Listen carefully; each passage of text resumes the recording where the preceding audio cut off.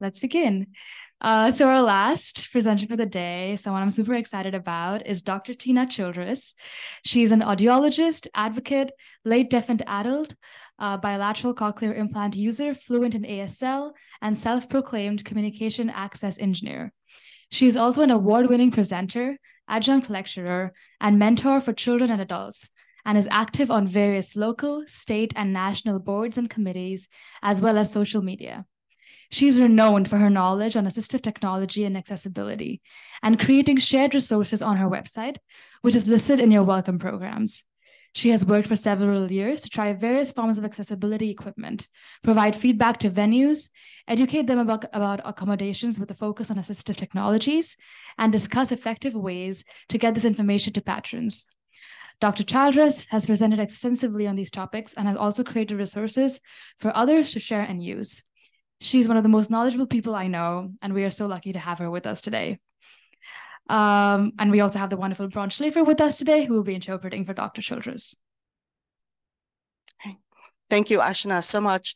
So, um, okay, I know that there are not any people that need um, captioning. Are there any people that are blind, low vision, either in this room or online, that would like a visual description or anything like that? Okay, or we'll need visual descriptions of the slides. I want to be uh, mindful of that. Okay.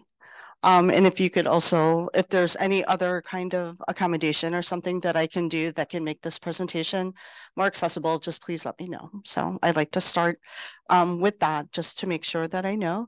So how many here are students? Acting, stu like acting majors? Theater, ma- oh, sorry, theater majors. My kid, who's a theater major at UIUC, would probably be very mad that I said that. Um, they just added musical theater to their to their uh, program as well. Um, okay, and then do we have any faculty that's here? Any administrators of cultural spaces? Okay, Ish, what do you guys do over there? I, I teach five. Okay, so in the element, like the public school system? In here in Evanston School District. Okay, so wonderful. So thank you. So um, if anyone still needs to take a, a snapshot of this QR code, let me know. Otherwise, I'm going to go on to the next slide. Okay, so thank you very much to Ashna and to the um, Inclusive Theater Festival for asking me to present today. Um, this is something near and dear to my heart and something that I experience you know, multiple times a year. Most recently, last night, my kid was just in a show. They did the Wild Party, and um, and my kid Madeline was Madeline True, and so they were amazing, and I'm proud to be a thespian mom. Um, at the same time, I also um, I think I made some assumptions. So, like when I was talking about being an advocate, um, when you're a theater mom and you have to juggle some things, I thought it was really interesting because I thought, okay, I asked for what I needed and I assumed they were going to do what I needed. And I got there and I didn't get what I needed. So, lesson learned. So, we'll talk about some of that today. So, as Ashna mentioned, I don't have to go through this again. Um, so, I am very, very hearing passing. And I understand that that can be a privilege. Um, when we talk about invisible disabilities, it's, it's a good thing and a bad thing, right? People hear my voice, and oftentimes with people that are deaf or hard of hearing, they equate the ability to speak with the ability to hear. And so, just like people that use wheelchairs, and sometimes, you know, they're not in their wheelchair, and people are like, oh, you're faking it. I get the same thing because people are like, well, I hear you talk. I, I heard you like, I saw you turn, or I saw you have a conversation and you weren't looking at someone. And they're like, okay, what does that mean? Okay. We know with all disabilities, disabilities are a spectrum. And there are times when the disability is more impactful than other times. Like in this space, you know, it, it is pretty quiet, but if someone were to ask me a question, I would probably look straight at Braun to make sure that I had it accessible. Okay. Um, I do want to mention two things before I forget. So when uh, was it Terry Hudson that was just speaking, and um, we were talking about institutions in the area that can help people, um, you know, actors as well as patrons that are that have disabilities. How many people here have heard of the Chicago Cultural Access Consortium? Okay, CCAC. Did you know it changed names? So it is now known as the Cultural Access Collaboration or CAC. And whereas it used to be mostly just the Chicago area, by switching names and taking out the Chicago part, we're talking about not just the state of Chicago, which is, you know, if you're from Chicago, that's what everyone thinks, you know, the Illinois is like the state of Chicago. I live in Champaign. I am on the steering committee and I'm kind of the only representative south of 80 that um, is part of the steering committee right now. Um, we're hoping to expand, but the goal is is to um, talk about resources that we have. We have YouTube videos, um, different all different kinds of things that are on there. So that's a great resource. Um, the second resource that I wanted to talk about is called the Kennedy Center Leadership Exchange in Arts and Disability program. So it's uh, the acronym for that is LEAD. So that is a conference that happens every year. Next year, it's going to be in Seattle. Okay. And it is a fantastic, and my implant just died. I knew it would. And so I'm going to look at you, Brian.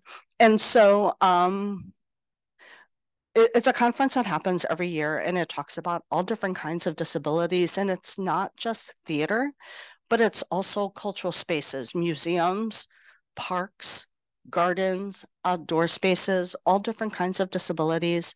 There are scholarships for students. There are, if you submit for doing a presentation, you can go for a reduced price for registration.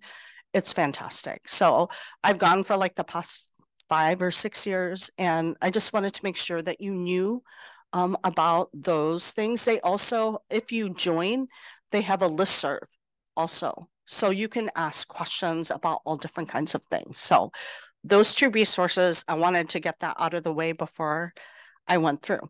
Um, and so let's see what else. So Ashna mentioned the things that, that I love to do. Um, I was actually an engineering major first at the U of I. So I live in Champaign. I grew up in Skokie. So I went to Niles. I went to Fairview. That was my elementary school. And then I went to Niles West before U of I. Um, and um i'm just i love technology and i love all of this so that's my perspective i grew up with normal hearing i became deaf at age 30 um and so you know when terry was talking about you know people that had an acquired disability that would be me um i feel like you know i've been doing this now for over 20 years and so I feel comfortable in my skin, but there are so many people that still are learning how to be deaf or hard of hearing, right? If you have a disability that's either acquired or has changed and evolved and looked like different things, you're going to realize that things have to change also, like the way that you navigate different situations. So this is kind of uh, the topics that I'd like to cover today, just some different facts so that you know kind of who is the audience that you're talking about. We'll talk about um, some examples of communication needs and preferences.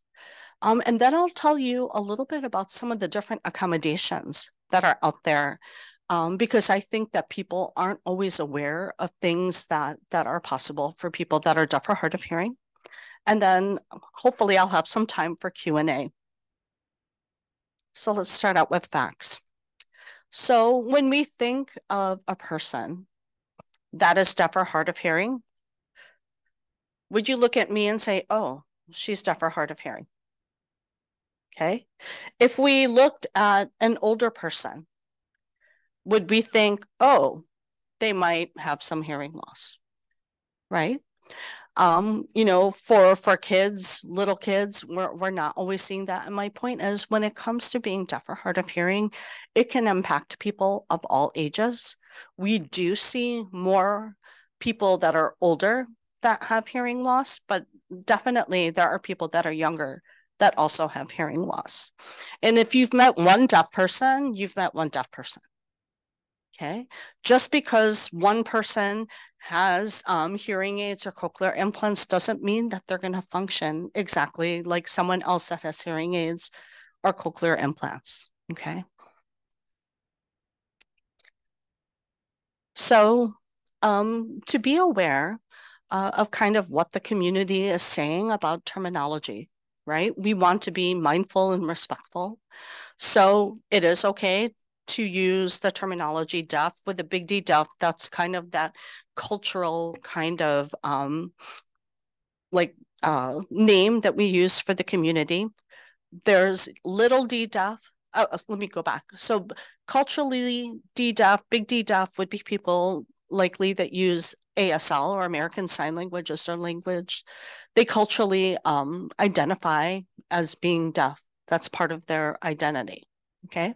When we look at little d deaf, that might be someone that is more audiologically deaf, meaning they still kind of um, they still associate more with kind of the hearing community, but they can't hear as well.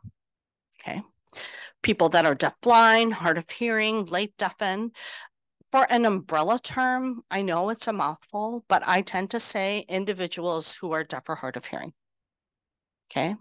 Um, just because you never know who's going to be in a mixed audience, I feel like that it, it does a decent job of kind of encompassing the whole thing. Sometimes people will talk about hearing status or hearing level. Some terms to avoid. So hearing impaired.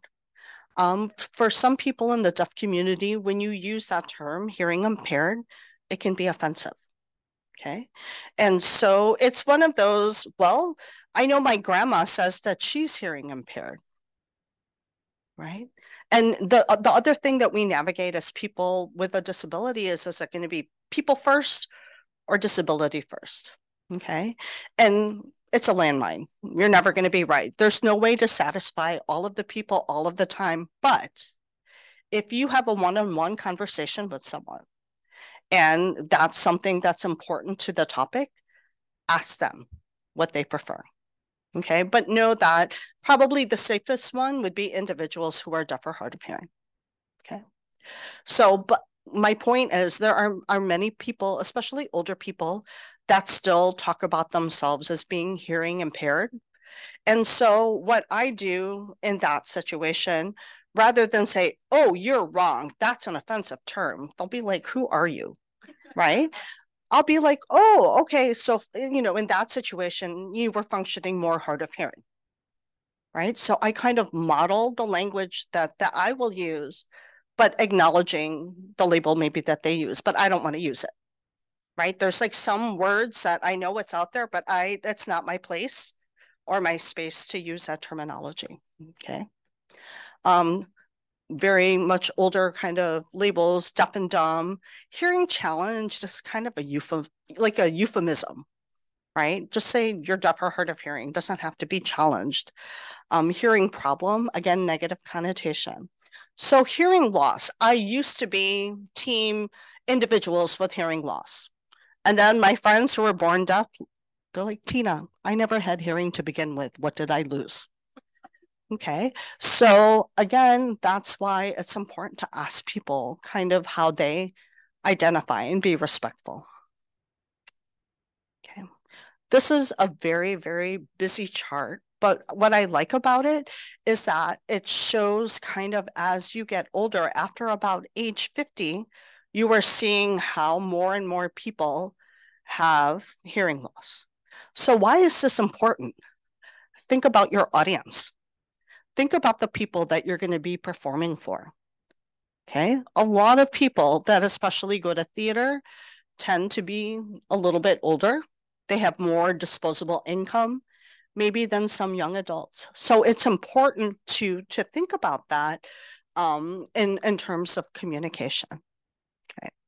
So we're looking when we talk when we think about people that have hearing loss, the rough estimate is about like almost one in five people will have some kind of, um, you know, will either will be deaf or hard of hearing. So let's talk about, oh, let me back up. And so when we look at that, up at the top, you're like, what does mild moderate mean? Okay, mild moderate are categories that we as audiologists use to describe hearing, your hearing levels. So for example, if you take your fingers right now and plug up your ears, go ahead and plug up your ears. Okay, and I'm gonna go ahead and keep talking. This is an example of a mild hearing loss.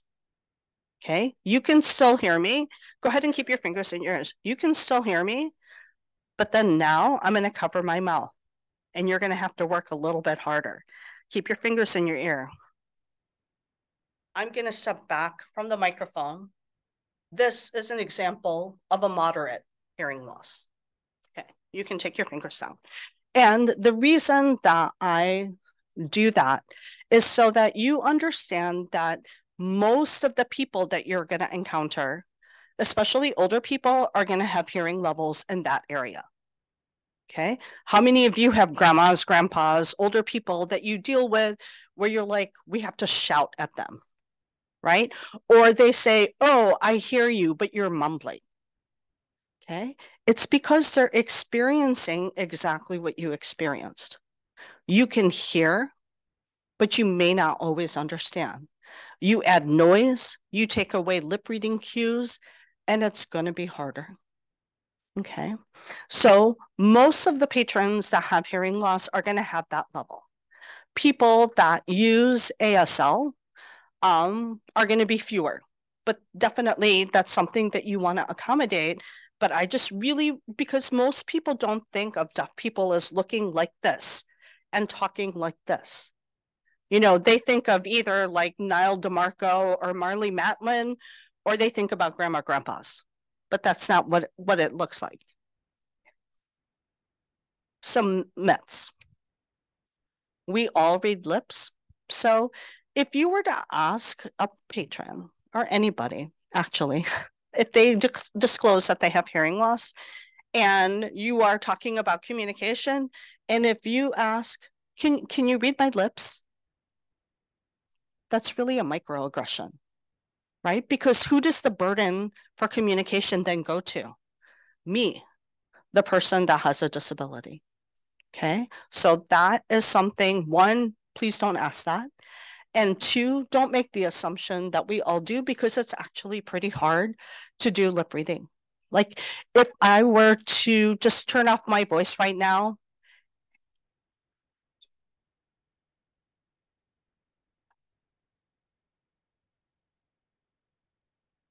So you you had a little bit of context, but what if I were saying something completely random? Like and what I just said is it's a beautiful day outside. Okay? And so it it's it's not easy. Um, again, we all sign. I just talked about that. If you're deaf, you hear nothing. If you're here, if you're hard of hearing, you hear well enough. Okay. And this is significant because when it comes to identity, I think there are some situations where people that consider themselves hard of hearing aren't quite sure where they fit in. Right? They're they're not exactly in the hearing community, they're not exactly in the deaf community. Um, but people assume, oh, because they can speak so well, that they can hear so well when I travel, for example, like when I'm in an airport, people that follow me on social media know this. I don't use my voice because the minute they hear my voice, they think I can hear. Okay. How many of you are still using masks sometimes in certain situations? Okay, so um, masks were very, very difficult for people that are deaf or hard of hearing my personal belief was that in the grand scheme of things, I would rather be alive and you be alive rather than me struggling. We'll figure out a way. Okay. But there are some situations where people still need to wear masks. And people assume that when you're working with a deaf or hard of hearing patron or interacting with the, with the public, that the masks with the clear window are always the best. That's not actually the case. Okay. The reason why is if most of the people are hard of hearing, especially older people, the paper masks actually let more sound come through acoustically, and it's easier for them to hear. Now, are there people that can benefit from masks with a clear window? Absolutely. My point, have both.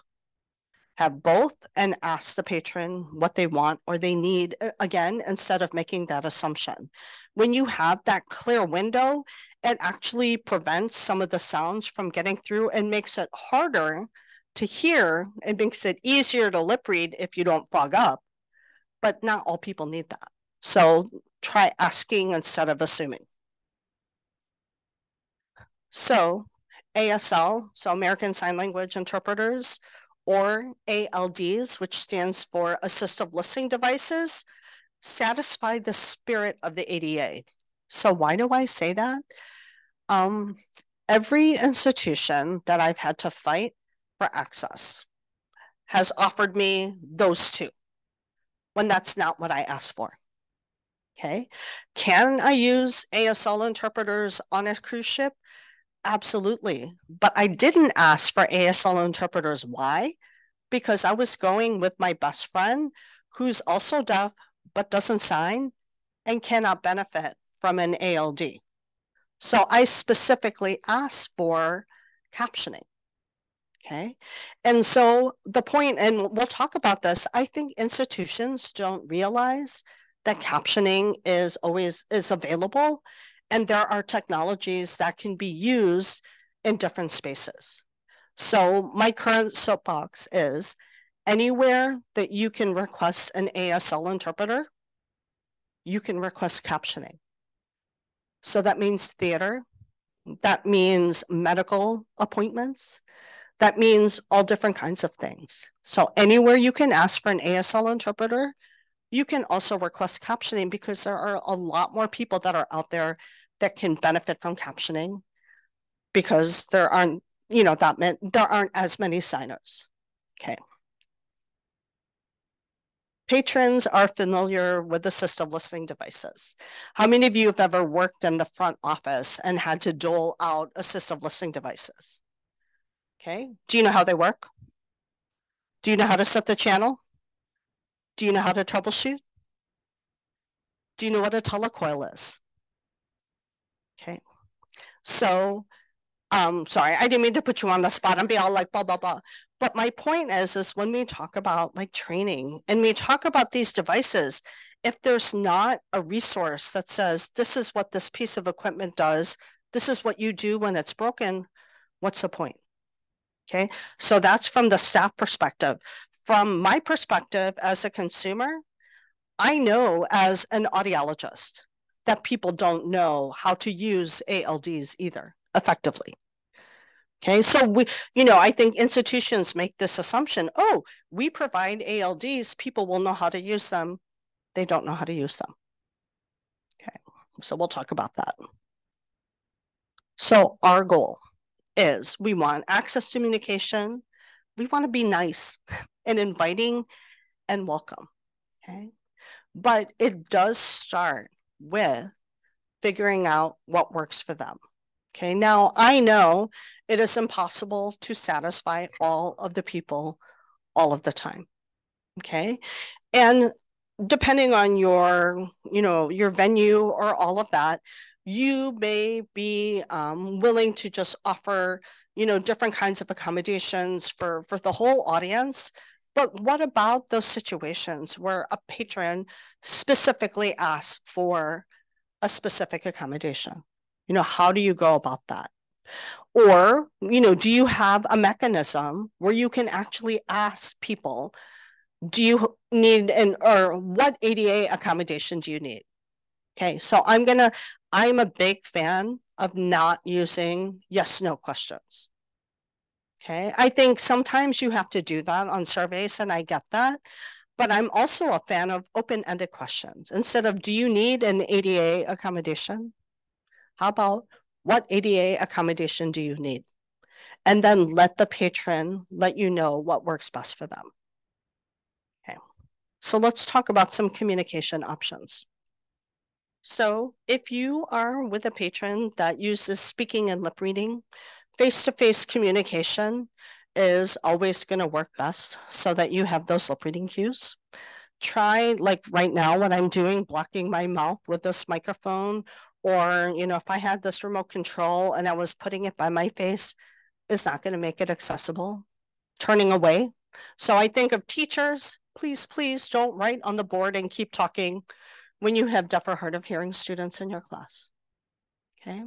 I do, it's hard sometimes for, I need to remember to slow down to allow people to read the slide. You know, and if Bronwyn was actually interpreting for a deaf audience member, being able to like split yourself between looking at the slide and looking at the interpreter is tough. Okay. So, you know, I love presenters that say, okay, I'm talking this, read. Okay, now I'm going to make a comment. Um, as a former hearing person, I really, um, there are times when I'm able to take notes where I don't have to watch an interpreter or read captioning if it's a good listening situation. And it just reminds me of that privilege and that advantage that hearing people have of being able to look down and take notes. Okay, now as a late deafened person, I take notes with my computer so I can still lip read. Okay, but it's hard. Um, don't exaggerate. Um, I love my mom, but she talks like a Filipino Zsa Gabor sometimes. Like, what do you want for dinner? I'm like, mom, don't talk like that. Right? Because it, it distorts your speech. Yelling actually also distorts speech. And um, you know, this is what happens with older people when you're talking to grandma, grandpa, and they don't understand you. There is an art to elevating your voice to make it louder without seeming angry. Okay. That person that's deaf or hard of hearing is already frustrated because it's difficult to communicate. You add that extra layer of emotion, like you're mad at them, and it makes it worse. Okay. So you can raise your voice, make it a little bit louder without seeming like you're shouting. Um, if there's more than one person, um, I love my friends that understand my communication needs. They'll kind of like raise their hand so that I know who's talking, you know, and talking one at a time. So, like Lord of the Flies, I've got the conch is fantastic because there's only one person to lip read.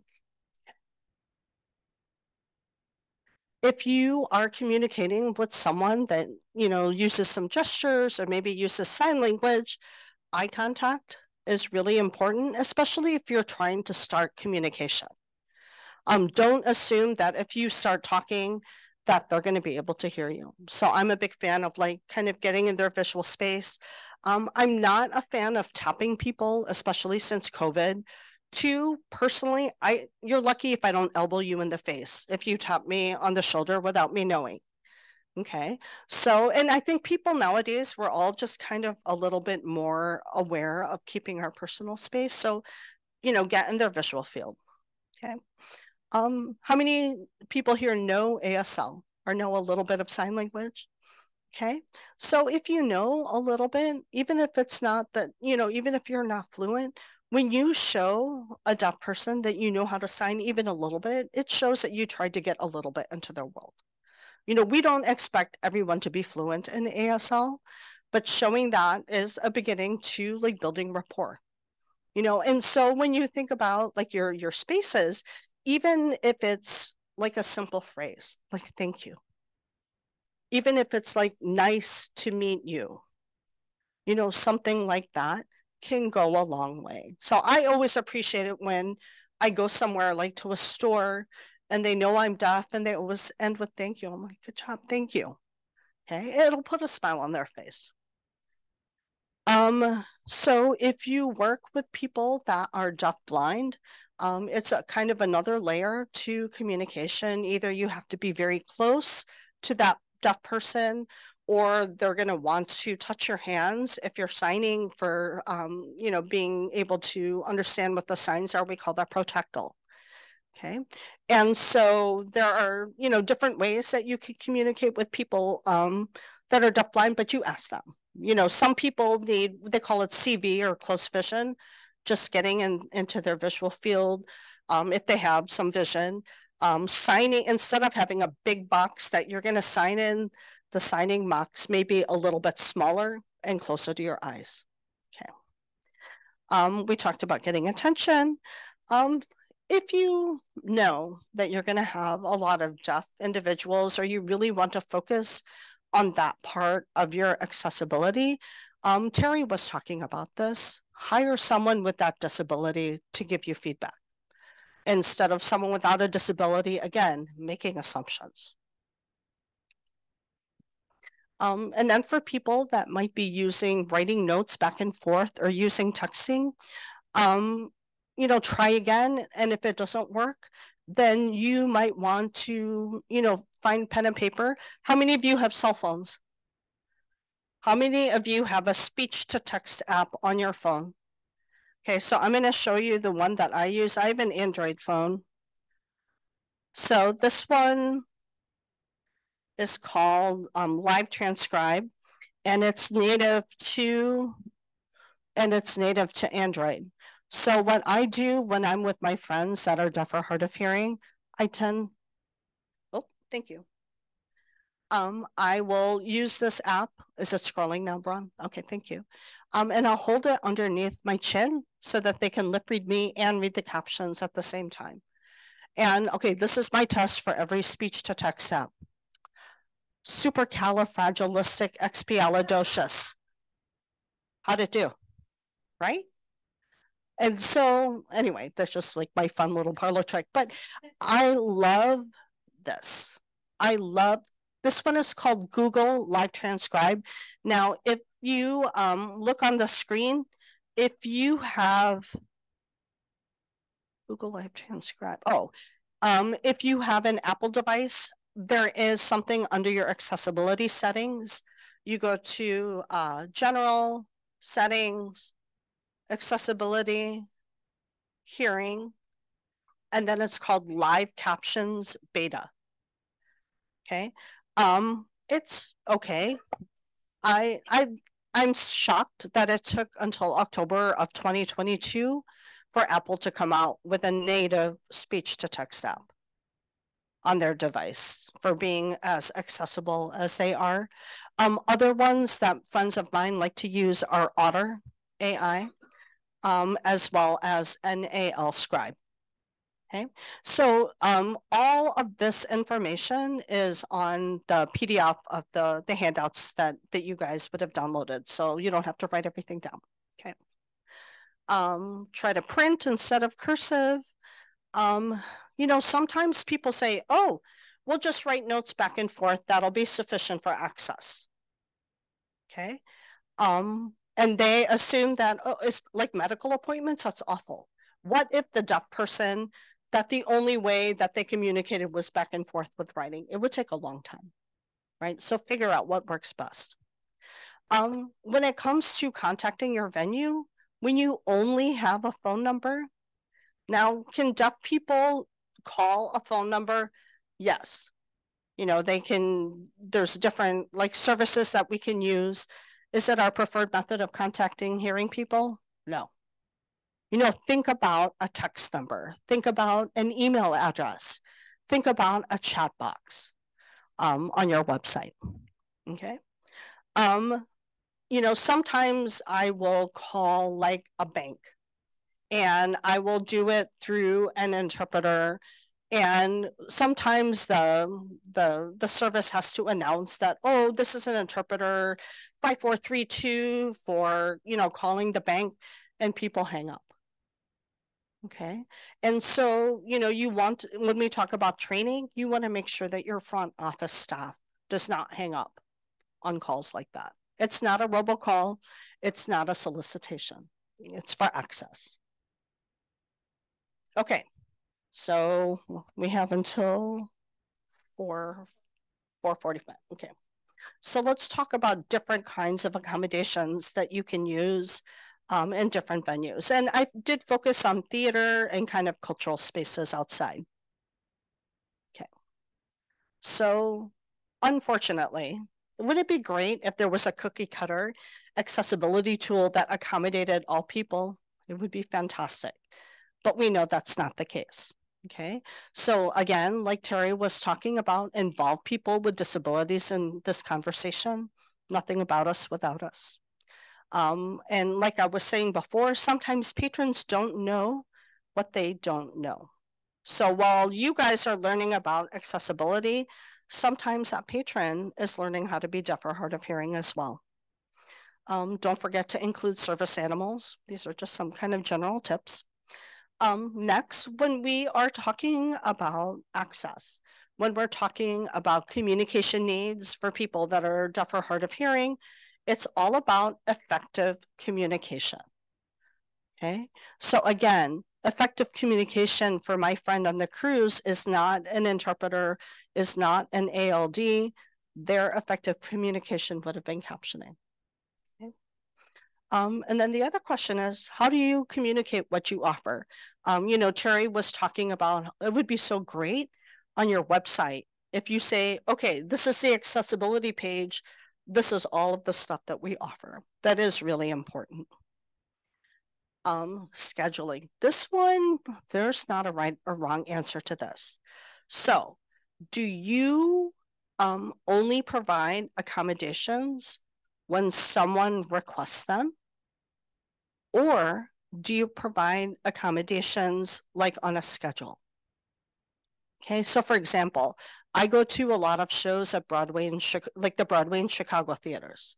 They have a schedule of interpret, you know, shows with um, ASL interpreters with open captionings, open captions, or that are audio described. You know, sometimes my schedule will fit their schedule, sometimes it doesn't. What I love about Broadway in Chicago is they're both. They're both scheduled, so I know what to expect but if it doesn't fit my schedule, like for example, next week I'm seeing Beetlejuice, right? And their caption performance is on Saturday. I said, Hey, I can't make it on Saturday. Can we do it on Sunday? And they told me yes. Okay. Now, again, like Terry mentioned, you know, we have to prepare months ahead of time. I don't expect a venue to provide me something like that last minute. Okay. But if you could do both, I think that could go a really long way. Um, in terms of budgeting, um, it's really, really important. If you have any say in budgeting, especially when it comes to accessibility, be proactive. Put it in your budget ahead of time to be proactive, as opposed to scrambling for funds when someone makes a request and then you're more reactive the worst that can happen is you don't use all of that money and you move it over as a line item for the following year. Okay. Um, think about reserving accessible seats. Um, you know, when we're talking about people that are deaf or hard of hearing, if you're going to have a show with interpreters or captioning, you need to be able to make sure that we see it. Right. So, um, Broadway in Chicago, their philosophy is doing open captioning. So when I go to a show, probably the first 20 rows stage or house right are reserved for people that are using captioning or interpreters. Okay. And if, you know, seats aren't sold, then they sell it to the general public. If I go to Broadway, like in New York City, their philosophy, uh, and, and it's only certain performances for open captioning. Now, if I were to go to Broadway, I have a handheld device which means I can go to any performance and I can sit anywhere in the house. Okay. And so that's another way. There's two very different approaches. Personally, I really prefer the Chicago way.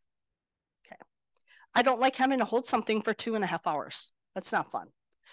Um, uh, making sure that if you have a communication facility facilitator like an interpreter or a captioner, giving them content ahead of time so they know how to spell things, they know what to expect. Um, having that list of facilitators. So if you contact CAC, the um, the Cultural Access Collab, they do have a list of providers kind of in the area. And um, if you are not, a, like, let's say you land somewhere else, you know, seek out that umbrella organization.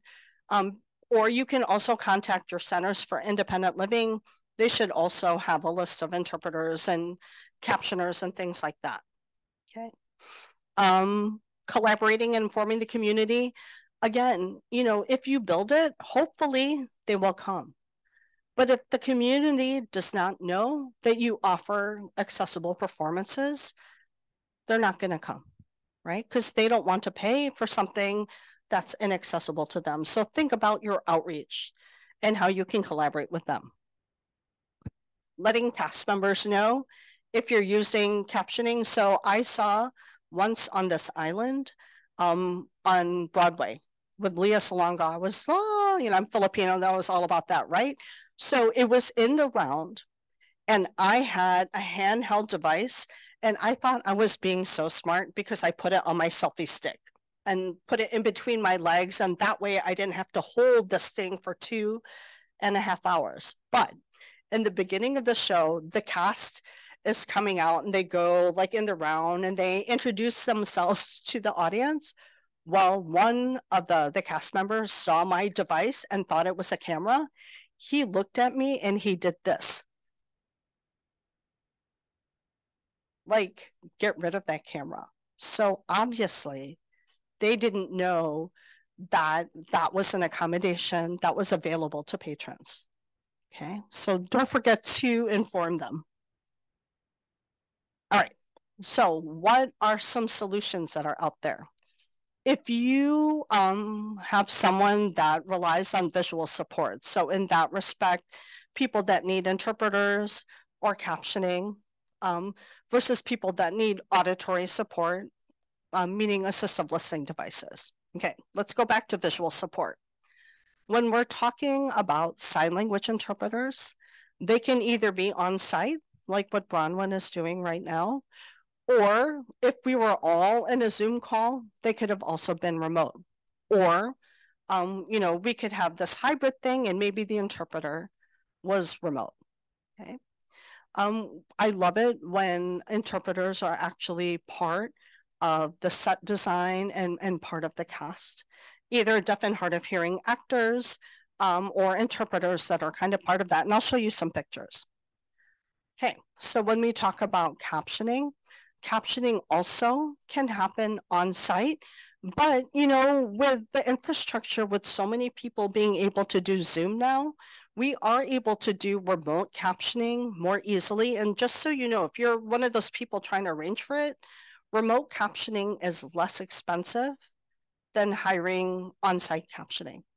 And it's usually easier because then you have the whole pool of the US to be a captioner. Um, captioning can be closed, meaning it can be turned on or off.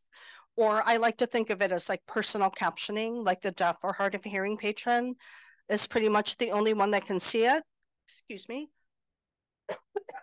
oh, I came back from Texas and I think I'm allergic to Texas. Anyway, um, you can also have open captioning, which is captioning that you cannot turn on or off, or basically everyone in the audience would be able to see it. Again, I have pictures of all of this. Um, now, when it comes to captioning, the captioning that we're using right now in Zoom, excuse me, is known as ASR, automatic speech recognition, right? So it's using artificial intelligence to kind of guesstimate what words that I'm using to generate speech. That's very different than captioning that is done by what's known as CART or communication, access, real-time translation. And that's by a live person using a stenograph machine. Think of like court reporting. Okay, that's technically CART captioning. Okay. Now, um, ASR captioning is not perfect. I mean, Bronwyn and I were noticing even when I walked in and we were looking at the Zoom captioning, it's not perfect. Okay. If you have someone that completely relies on captioning to access something and they've made that request, I would recommend that in some way a human is involved. Either they are captioning it live, or if they download the script, that they're also available to indicate you know, like to advance the slide so that the captioning is in sync. But there needs to be a human involved in that. Okay. Um, again, captioning involved um, in in the stage design would be great. So last night, my kids' show was in the theater where they do operas. So they had the proscenium at the top and they were able to project the captions to the top. Okay, which was great. So when we think about assistive listening devices, you need to think of, do you want something that is only for an individual? Like each individual has their own receiver, or do you want to do a whole room kind of thing? Um, we'll talk about what we call remote microphone systems. This would be considered remote microphone because this is this far away. If I had a lapel mic and I walked around the room, my voice would be steady because my voice doesn't change from this location, okay? We'll talk about indoor and outdoor use as well. So I love this video. So this is an example of making the assumption that people that are deaf or hard of hearing should sit front and center to a stage, okay? I'm, I'm gonna run this kind of animation here.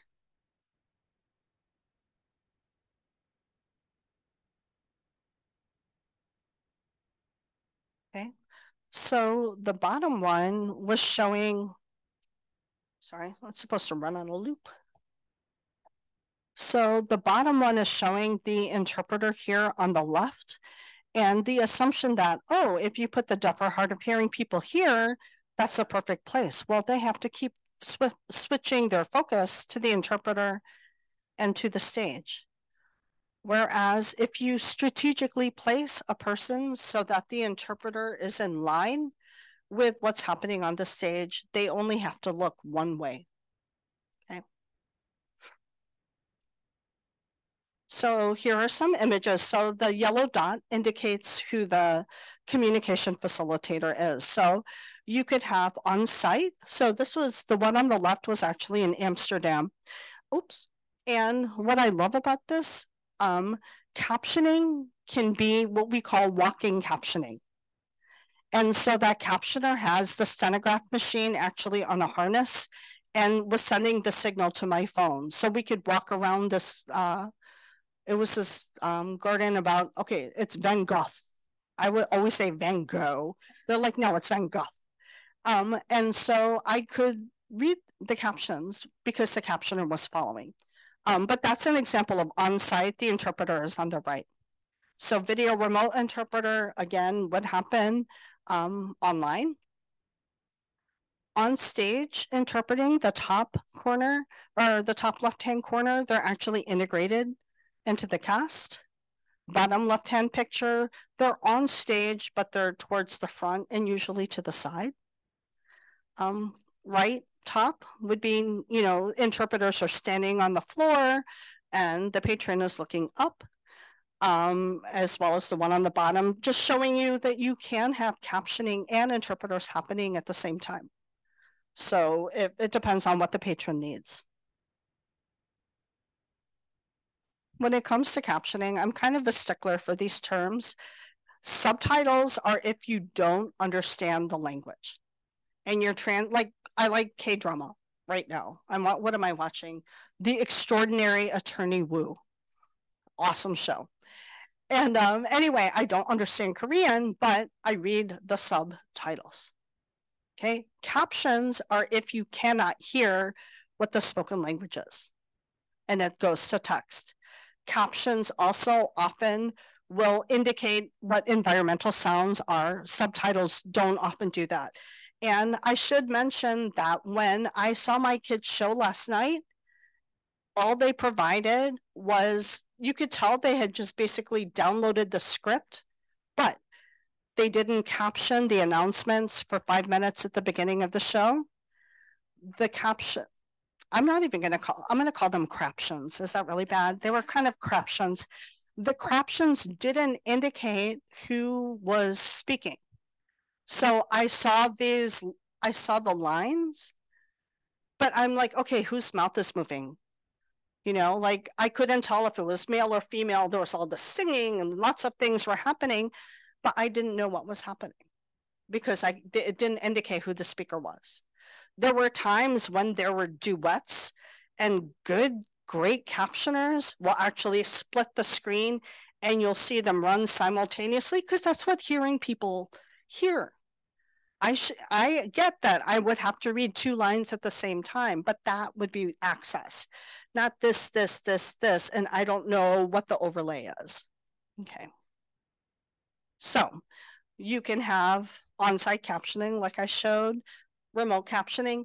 If there's a green check mark on there, that to me is kind of like best practices or the, the preferred method.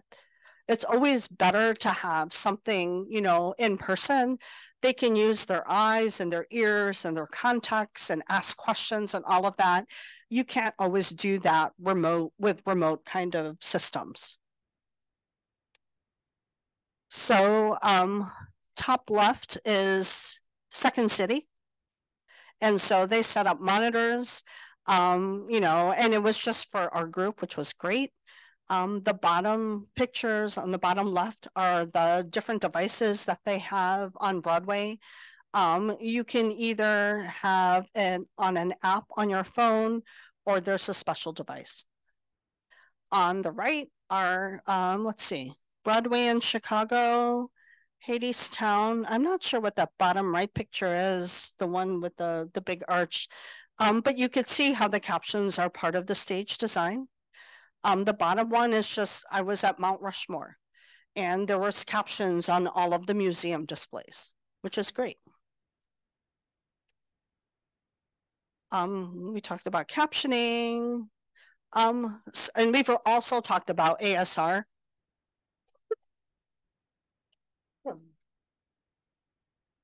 my suggestion ask the patron what they prefer. And there's a concept called GIGO. Does anybody know what GIGO is? G I G O. Garbage in, garbage out. Okay. And your captioning is only going to be as good as the signal. So think about using a microphone. I actually have a Bluetooth microphone that I brought with me if I needed to connect to your computer to make the captioning better. Okay. Um, it's very, very tempting to only want to use ASR captioning because oftentimes it's free, but it's not always effective. Okay, so think about that. Um, when we talk about ALD, sorry, I'm dropping a lot of knowledge here. ALDs, um, you know, it's best if you have someone install it for you. You know, find a good AV company to do that. Um, you know, there are legal obligations that you have to follow in terms of the number of devices that you need to have.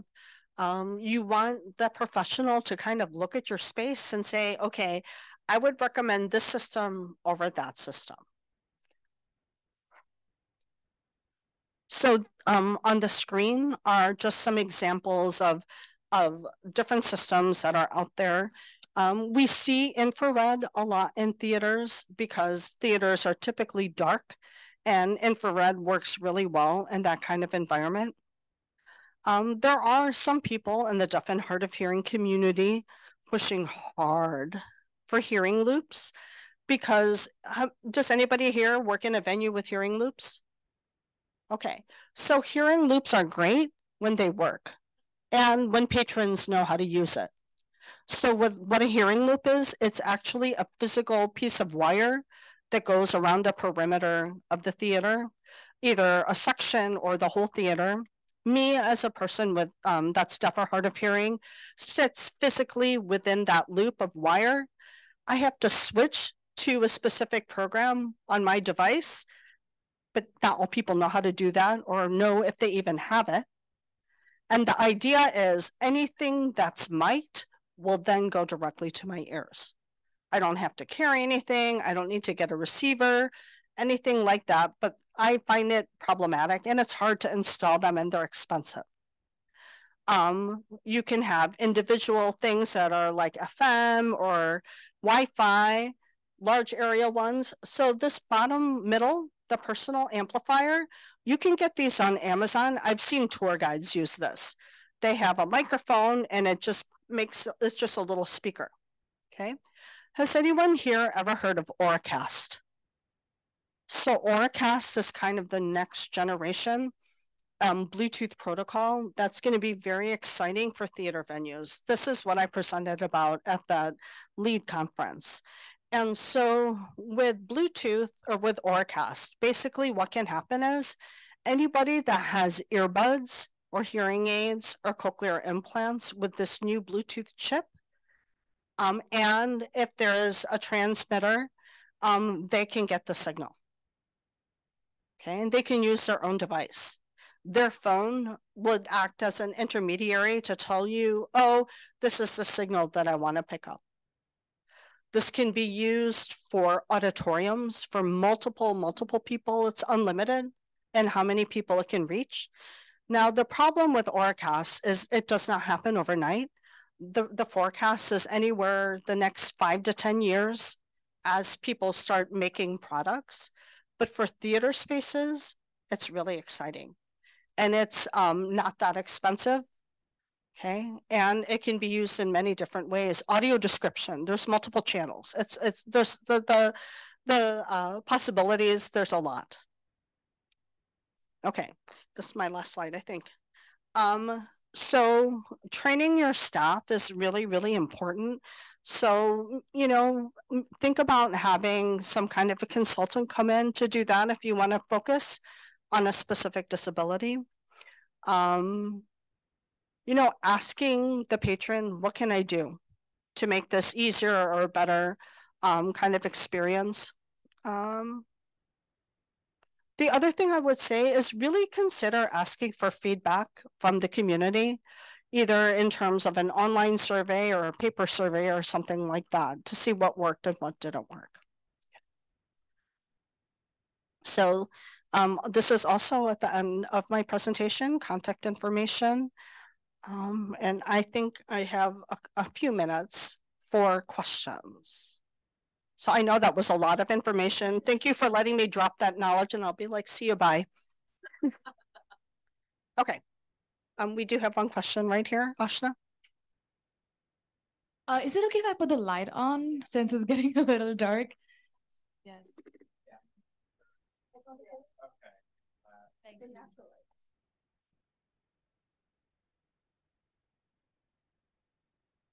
want to start off with. Haley, nice to meet you, Haley. Um, so I am a student here. One of my minors is communication science and disorders. So they offer that here. I think Matthew, do you do that? Yes. Yes, we both do that. Um, and I've taken like ASL courses through Norris, but it's like once a week you have to pay. It's like very small, kind of outsourced. So um, I'm just wondering, like, what are some good techniques of like learning ASL and becoming more fluent, especially because lots of colleges nowadays offer so many like foreign languages except for ASL. I feel like people should be learning ASL more, and especially coming from a hearing person, like, how can I learn ASL and like communicate more with people? Great question. Um, substitute ASL for any other kind of spoken language and think about what would you do for that. The best way to learn another language is to immerse yourself in that other language. So while there are apps and there are websites, um, find out what deaf events are happening in the area and just be part of that. Um, there are different um, deaf groups that are here in the Chicago area. Check out NAD, the National Association of the Deaf. Um, there's different chapters all you know across the U.S. and within different states. Um, there's a Deaf Center, Swoboda, S W O B O D A, and that's on northwest of Chicago. Okay, so northwest of Chicago a little bit. Um, but also, you know, there might be a ASL club here on campus at Northwestern. Um, see if you can be part of that. But my suggestion, uh, you know, it's great to use those apps and and sometimes the um the websites, but it's typically vocabulary right? And it'll help you with things like expressive, like being able to do the sign, But communication is a two-way street and you need to receptively understand too. Right? Like I can speak a lot of Spanish, but the minute they reply back to me, I'm like, okay, I'm busted. You know, I, that's not going to help me. So, um, immersion, I think was is going to go the, the longest. You're welcome. And then going off of that, you mentioned with the terminology like D versus little d. Is it possible for someone who has like no hearing issues, like an individual myself, to become part of the big D community? Like, does that make sense? Yes. So, um, we have allies right? Just like the LD, LGBTQIA plus community has allies within the, disability community, there are also allies. Like I would consider someone like Ron, who has normal hearing, to be part of the deaf community, right? You know, if you're gonna, I consider, well, I am part of the deaf community, but like for people that have that heart, you know, that want to be part of that, you can be part of that. Um, I I also call myself an immigrant because I'm late deafened because I was in the hearing community first, and then now I find myself in this new kind of world, right? So, are you going to go into speech or audiology? Neither, actually. I'm going into school psychology, and I've worked with lots of kids who use the PECS or um, other systems. I've actually encountered more kids who should be using the systems, but their parents don't want them to. So that's a little challenge I'm trying to face and solve. But the more classes I take, like the more interesting it is. Because right now I'm taking an audiology specific class and very interesting, but at this point, not something I can go into a career with. Okay. Awesome. If you ever have questions, you have my contact information. All right. Any other anything from the peanut gallery online? I, I think we're good over there. Yes. Okay, thank you. Yeah. Um, any other last questions for Dr. Childress? Your eyeballs must be heavy after all day. no, it was amazing. It was so cool to hear. And I'm gonna go to say hi real quick. Thanks for your presentation. Um, I just uh, stepped down from CAC. I'd been on for three years and delighted that um, you shared information about them. I wanted to ask you a double question. You um, and trying to learn sign myself, I find that um, with dyslexia, and I'm flipping around, I am I'm totally getting confused sometimes. And like the output you were talking about, I can output, but understanding takes me about five times as long. Any suggestions? Uh, I mean, I've been working in a mirror and also working with deaf people. Um, how how might we address that? I, I don't know if it's just me or I think you just have to practice. okay. You just have to retrain your brain and start those synapses going to understand that signal that's coming in and and try not to focus so much on the reflection part of it. Um, it's just what you see is what you see. So like if I'm signing right now, you're not going to be seeing this. You're going to be seeing what you see. And it's like, again, like a spoken language. If I took you right now, and I'm going to assume you don't understand Mandarin Chinese. If I took you and put you in the middle of China, you're going to hear lots of things, but you're not going to understand anything. Right. And until someone shows you, oh, that's the word for apple. This is what apple tastes like. This is how it sounds. The next time that you hear that word, oh, it's going to make sense. And that's how it is with ASL. Also, it's just a visual way of processing language as opposed to auditory. But I, if you're, you know, with dyslexia, that can make things more complicated for sure. But I think it just, it, it'll take practice. Um, I, I think it will get confusing if you try to use mirrors and stuff because you're not going to have that available all the time. Okay. And the second part? Thinking um, in terms of placing, thank you. In terms of placing um, captions, you talked about the dialogue being uh, on two screens, left and right. Did I understand that correctly in terms of dialogue back and forth? Yeah. If there's people, um, if there's a duet, Uh, or if you have people overlapping, good captioners will know how to split their screens so that you see both lines of dialogue at the same time. As opposed to putting them right next to each other, which is not effective. Okay. Thank you. You're welcome. Um, does anybody else have questions?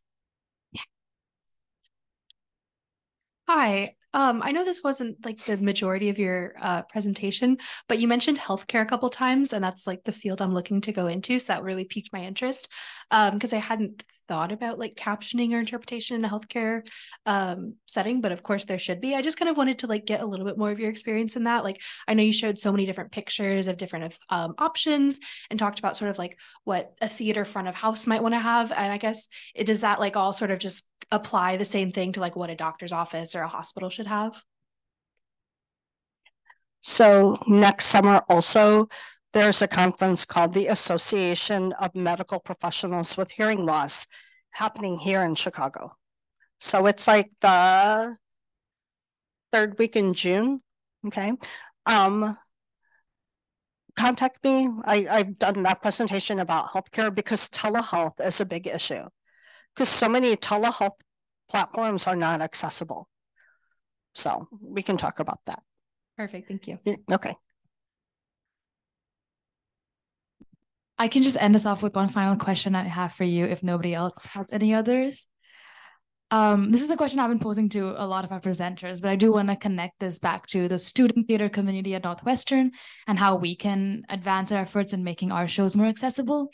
Uh, we usually have very minimal budgets and not a lot of resources.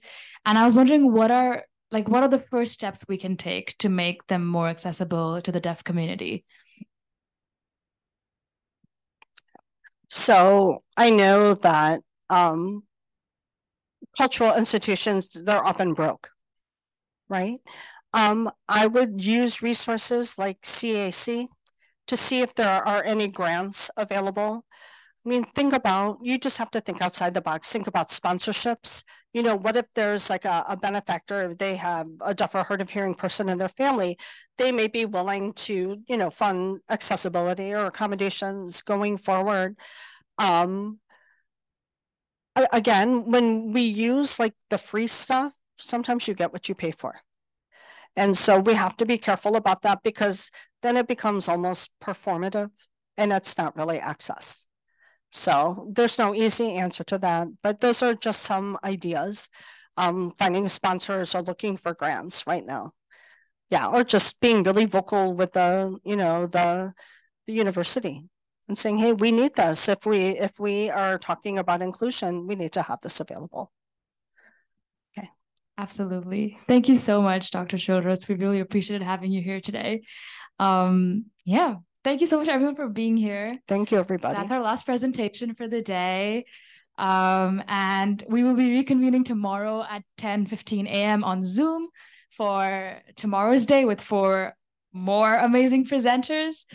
Um, but that is the end of the day for today. Thank you so much all for being here. And of course, we all, our welcome packet has all of the information for our presenters.